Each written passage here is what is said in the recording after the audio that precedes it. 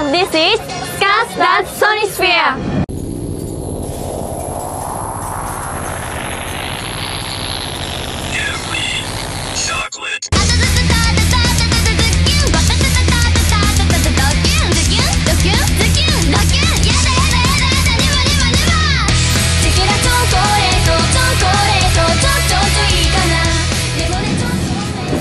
Anyone who hasn't heard the band yet, could you explain Baby Metal to us?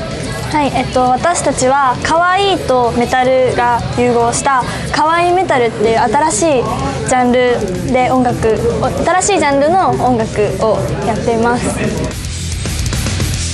How was the show today?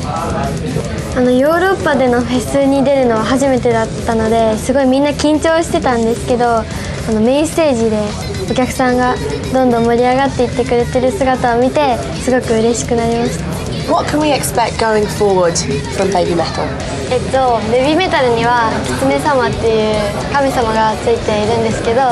これからの活動は狐様にしかわからないんですけどでももしまた来れることができたら今日のライブすごく楽しかったのでまた来たいです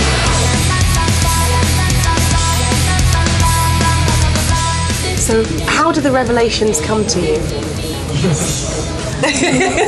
Brilliant.